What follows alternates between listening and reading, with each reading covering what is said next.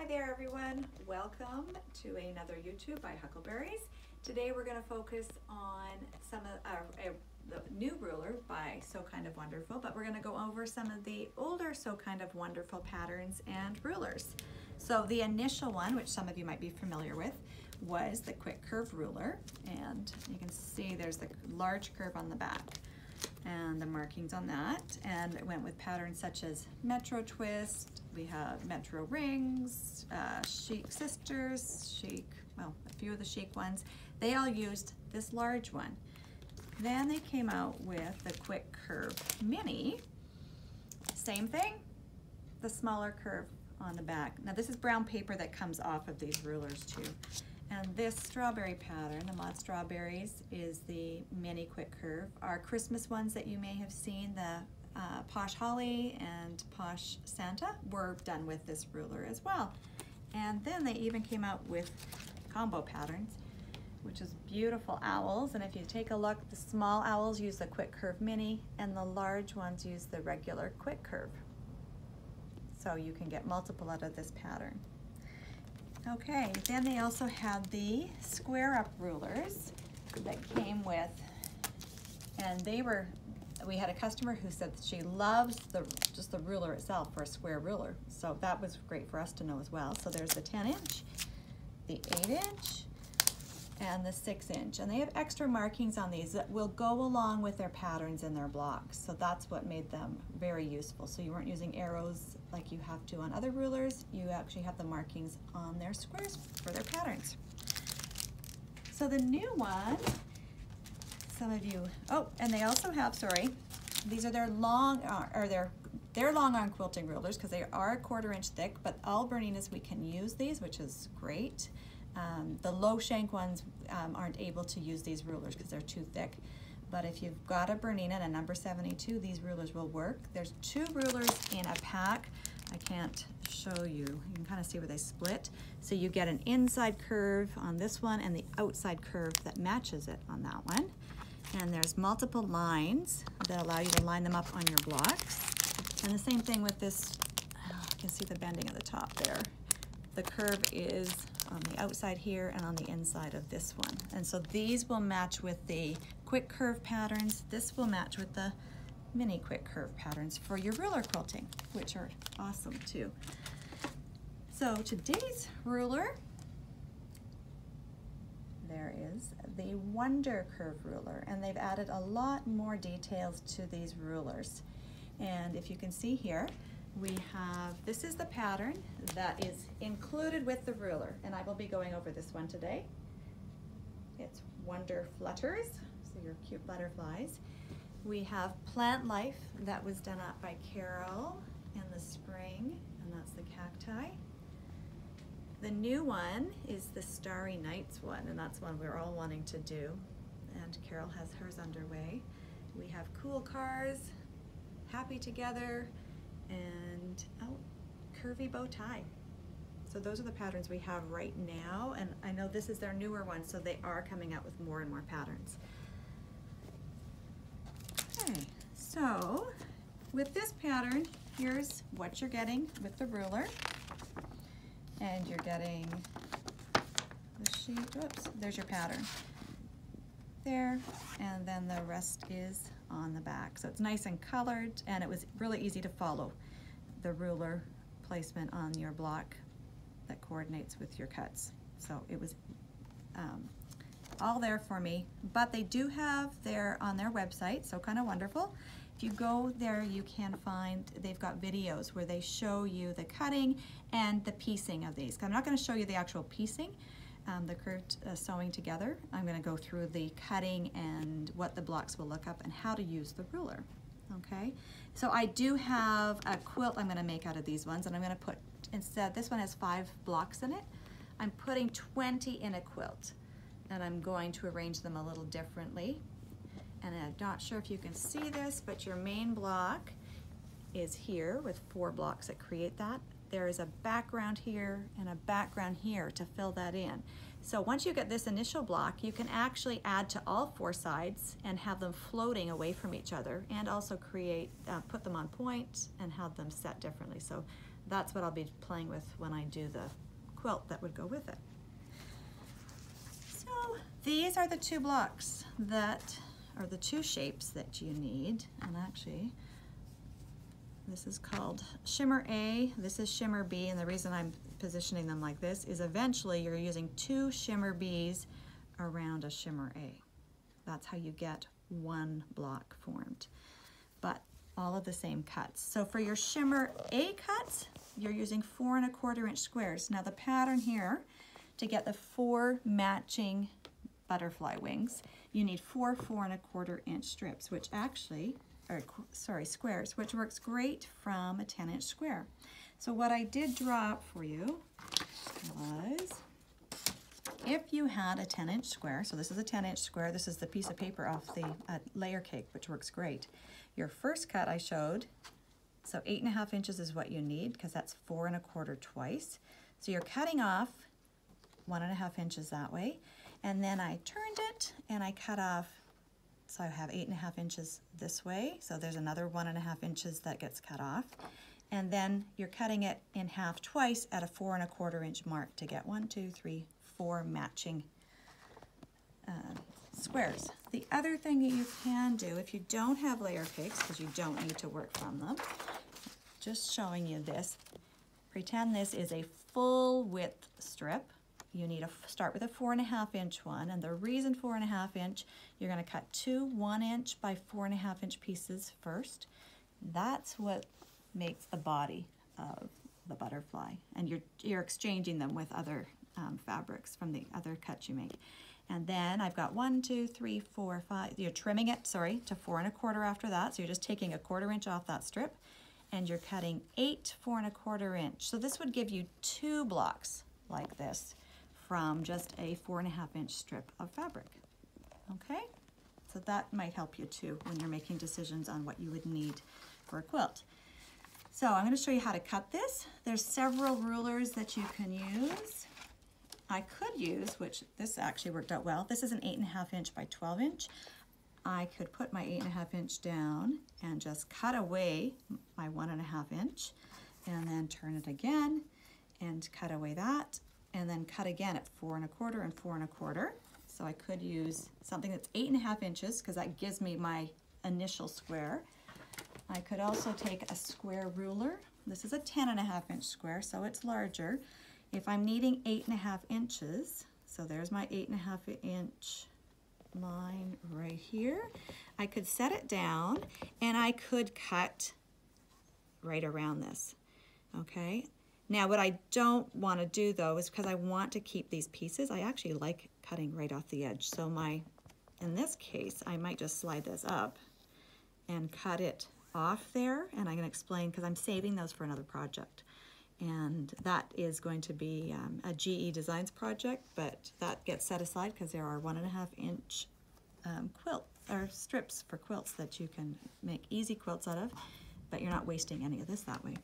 I'm going to actually show you just with the stripology ruler that if I put this on top and I match, so here's my zero line, I'm going to scoot, push down along here, and you can see it'll start to push against the fabric. There's my 10 inch, so it shows you there's my 10 inch square. I'm going to cut it at eight and a half inches, and I can actually work from this side, which is really nice. So there's my eight and a half. And you do need to take this away because you don't want to cut into it. Now I can take the rotating mat, which you've seen before, and do the same thing. I'm going to position that there. There's my 10 inch. There's my eight and a half. So I'm going to scoot that away so I can start here, go into the slot, and then turn my hand up and holding here still straight through. Oops, I think I cut it wrong. I did. cut too much away. So if we were cutting the four and a quarter inch, eight and a half inches, which is now unfortunately eight, so I'm going to cut it. Here's a quarter inch, there's four inches, so that's four and a quarter. So I would only do that cut once and then turn it again one time because this is different than using a square ruler. Oops, sorry. And I'm going to do the same thing this way. There's my quarter inch, and there's my four And those of you watching are gonna see I'm gonna have two that are the right size, but I've cut away too much because I was hurrying on this one. You can see what I've done there. It should be the same width as this. So I'd have my squares, which I've got two short ones and two that are okay, done up. Those are my shimmer, are going to be my shimmer A. So when you take your squares, you're going to take one and with your, oops, Wonder Curve ruler, this is where you can see lots of lines on them. Okay, and the initial cut, I'm going to cut, I, I have to face, I can't face, I'm gonna have to do it this way, but you're putting it underneath the ruler. Can you see my, their line there? And you can actually see there's got several lines. So this one for this shape, for this cut, is going to be on that blue one. And then we're cutting away that curve. Now you will have a little bit more than this because your four and a quarter will extend past mine, but this still worked for the shape. So I've got the same shape as that. So that's what they're calling their shimmer A shape. Their shimmer B is going to be from five and three quarter inch squares. I've got those here. So these are five and three quarter inches and you can stack several up. And what I like to do, can you see the line here? My trick for cutting them diagonally is to place the points on a line. Only time I use lines on mats is to line things up, not as a measurement, but as a, and I can stack all of them. So you can do four layers with your 45 millimeter cutter. If I was using my 60 and a nice fresh blade, I could do up to eight layers. So and I can do it one of two ways. I could just pick up the ruler, which works out really well, and I'm just going to now line that up on the line and cut those in half. Like that. And now we're going to trim this. This is taking my five inch square on the ruler, lining it up, and then I'm just cutting off the end pieces like that and like that. And then we're going to have the top facing away from us and we are going to put this one, oops, I've got to cut away like this. So now we're using just the top corner of the blue solid line, which is a five inch line there, I believe, okay? And I'm going to cut that curve out.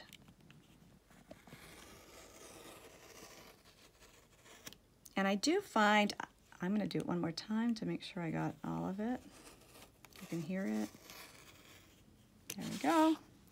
Okay, and so when you're cutting with these, there's a fairly big gap you've got. So if you're, just be consistent. If you always hug closer to the inside, always do that on all your cuts. If you tend to go out to the outside edge, always hug out there. Then they're gonna match up really well when you're doing your sewing. There is some forgiveness on these sewing.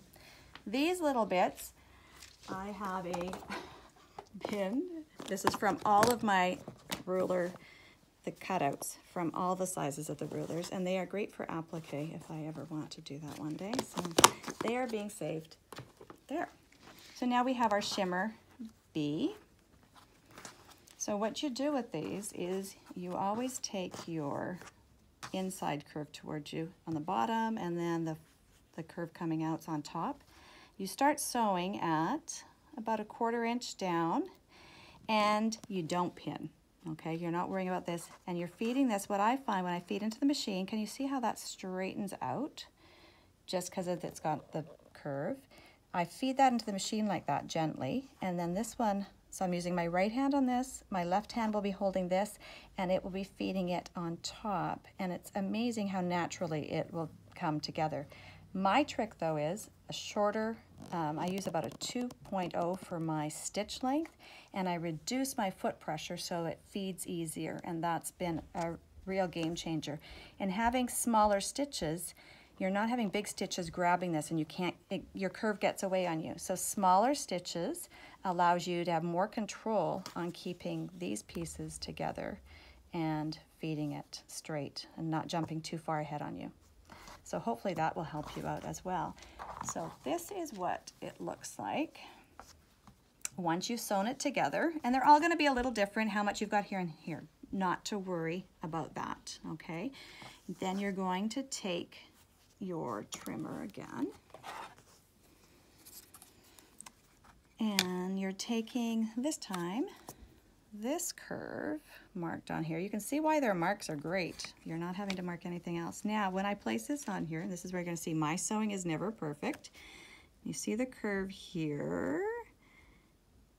It's not sitting on exactly. So what I do is I know the five is about middle way, midway point here. If I cut here, I'm missing out on part of that. So I'm gonna scoot it down. So I've gotta make sure I'm cutting the fabric and slide it over and I'm turning it to have them even here and here. Okay, so once I like that, then I take, and they work out, not to worry. I've had all of mine different, and you can see the runner turned out okay. And I'm gonna cut it. And then that you discard.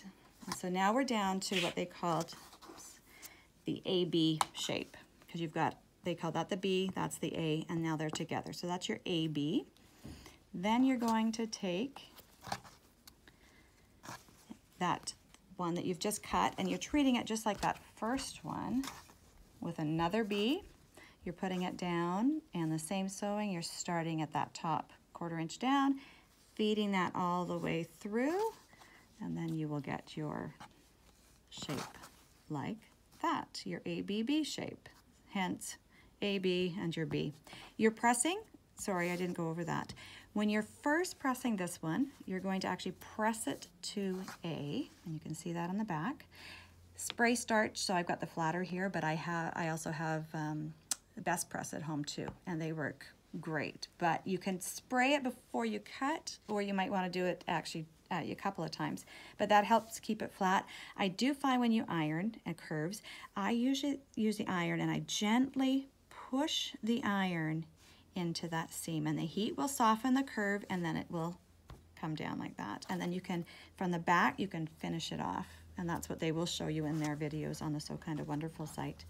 When we add the second one on though, can you see?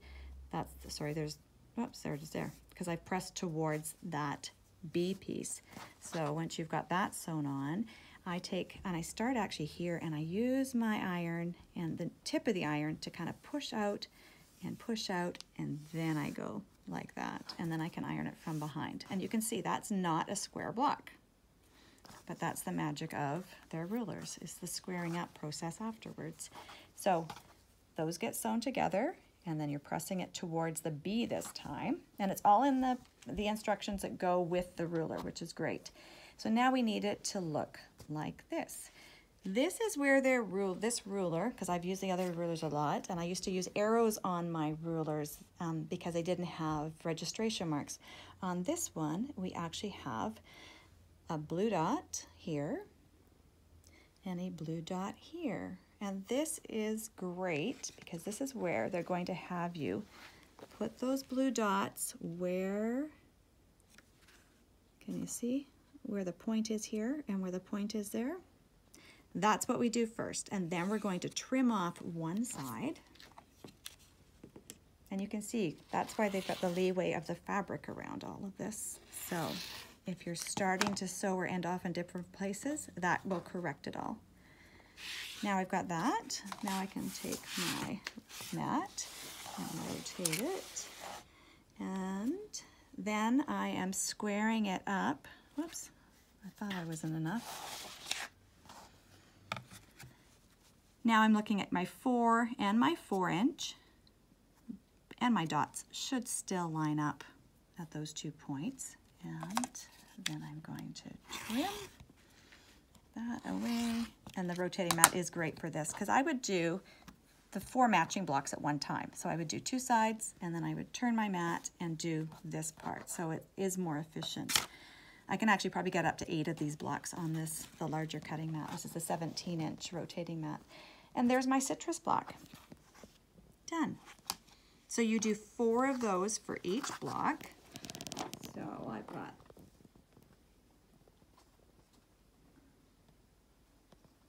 this is gonna be for a quilt. So this was a layer cake from last year by, oh, what's her name now? Sorry, I've lost the name. It was uh, one of the ones I always use. Not Robin Pickens? Yes, Robin Pickens, thank you. I just can't remember the name of the line. So these are the blocks. And so what you're doing is you're positioning them like this. Um, so these will get sewn together. Now you could leave them like that. To get the flutter wonder, the butterfly one, those, um, the one and a half inch strips that get cut, what I like to do is I tape one of them and cut it uh, down to an inch and I cut two four and a half inch pieces from that because that's what this is, one inch by four and a half. That gives me extra of these. Um, so I've got options in bodies. I can have more of one kind or less of one kind. And then you're just attaching a background to it. So these will match once they're all sewn. This will be the right length. And there's your block. Done up. So a nice quick one. And of course the squaring up, I do like these rulers and the fact that you square up and come down to a, an even measurement. Yeah, they're not gonna be perfect. It's not like a paper piece project, but they're not too bad. And I did quilt this one. You can see it better on the back. And I was able to do some ruler quilting with my new rulers from Natalia Bonner. And they were the ones called the mini four in one and the mini inside out. So these are the two rulers. And if you can see, one is the inside and outside curve, which is just like this Sew Kind of Wonderful ones. But I'd already had these, I don't have the other ones, and I just pulled these out to try them. And the curve fit perfectly. So I was able to use these just to do these lines stemming out from the center and then back again that way. So it was a really quick, and I did do in the ditch, and these were so helpful. And then a quarter inch around it too. And like I said, the back is much more prominent with the quilting. So hope you got some ideas out of that. This block you can play with and come up with your own patterns as well, obviously. And you can see all the patterns I love. This is still one of my favorites that I've seen them come out with. And if you take a look at the back, you can do, you can choose however you, you don't have to do the whole quilt. You can just do a little portion. And that would make a really sweet gift to start working on now for someone for next Christmas. So thanks everyone for joining us. Have a great day.